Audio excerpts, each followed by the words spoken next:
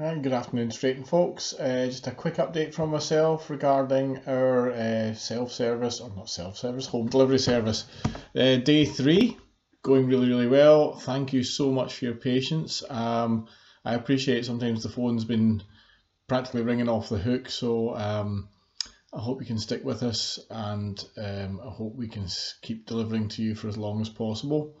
Um, it seems to be that the village is nice and quiet, so everybody is staying in listening to the advice from the government.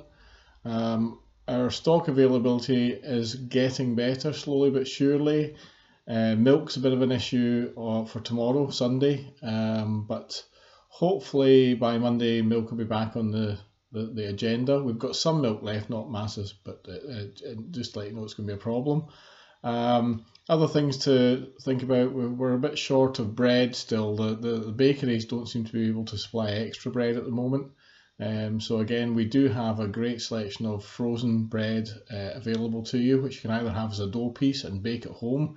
Makes the house smell amazing, gives you something to do for a few few minutes.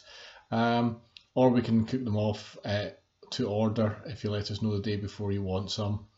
Um, we've still got morning rolls, um, so bear that in mind if you want something tasty. Uh, and we've got bacon and sausages available for tomorrow for a hearty breakfast. Anyway, hope you're all well. and I uh, hope you're taking care of yourself and your families. Uh, speak to you soon.